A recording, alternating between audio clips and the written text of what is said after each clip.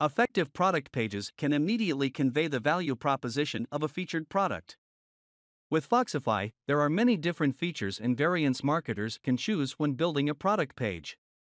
Welcome to Foxify Tutorials. In this video, we will use Foxify to build a product details page. Our inspiration today is marliesbleeker.com. This clothing brand specializes in creating high quality, ready to wear suits for women. You can see the standard concept with the image gallery on the left and product description with the function to choose products variation and attributes on the right side. After that, you will see a section where the brand talks about its passion, quality, and commitment to sustainability. Then they show a list of recommended products that customers may also like for cross selling purposes. What makes its product page eye catching is how clean and functional the design is. Shoppers can easily find information like how to care for their product, specifications, and other information. A theme can be considered the backbone of your store, defining its overall look, feel, and functions. We proudly present to you Zest. A solid base for your online store that is. More flexible than flexibility. Optimized for conversion and packed with built-in features. And especially dealt with the success of mobile commerce in mind. Your store is generated by clean code, tested, and approved by Shopify.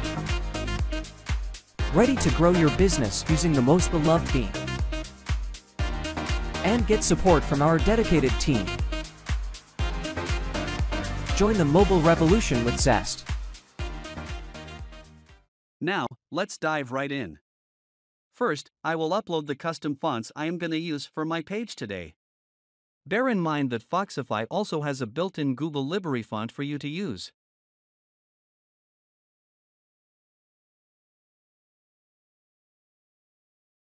Then, I will create a product template. There are some pre built templates for you to choose from. Here, I will create a blank template.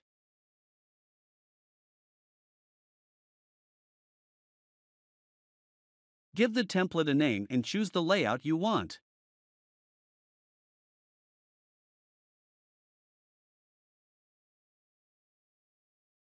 I will change the preview product to the one similar to the brand.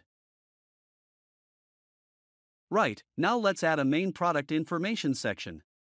In the section setting, I will set the desktop layout as grid 2 columns. And set the desktop media size as large.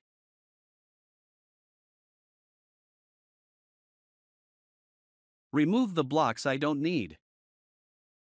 And start styling the section blocks like product title. I will choose the font I have just uploaded and adjust its size.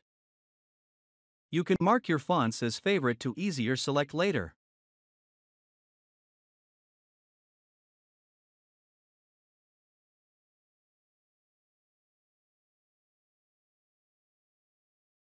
Similar with the product price.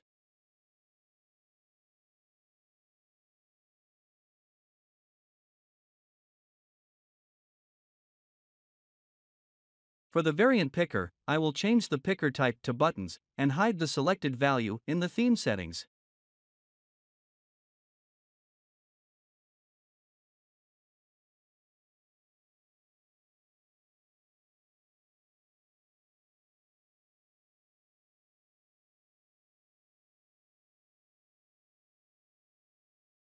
Next, I will hide the dynamic checkout button in the Buy button settings.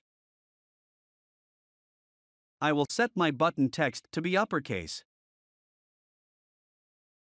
Style the Add to Cart button using my predefined button in Global Styles. To learn more about this powerful feature, check out our video for it.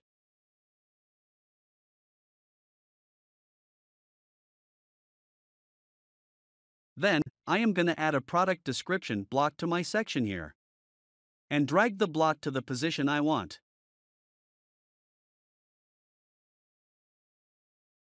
Continue with the accordions to showcase extra information for the product. You can add your text or insert a dynamic resource using Shopify Metaflelds.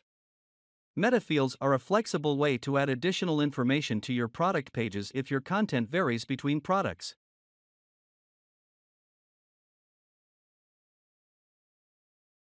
Do the same with other collapsible tab blocks. I am adding a top border here for my first collapsible tab. Select the border style, color, and its width. I am done with my first section. Next, for the second section, you can either use a custom content section or a multi-column section to replicate the design. Here I will use a custom content section. To each of the columns, add an image, a heading, and a text block.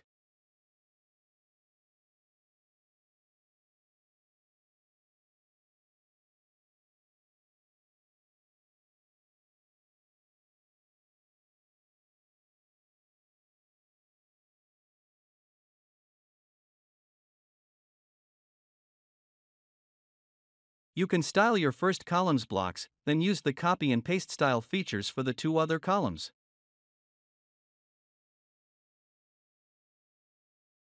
The next section I am using is a product recommendations section. You can display potential substitutes to help customers discover other similar products they might like. These recommendations can be customized using the Shopify Search Discovery app.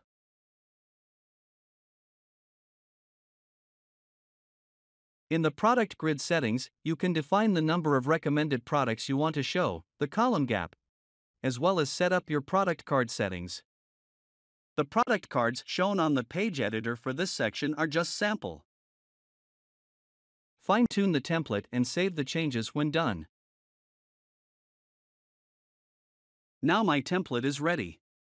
If you like our video, make sure you give the video a thumbs up and hit subscribe so you won't miss any other future videos. Thank you for watching.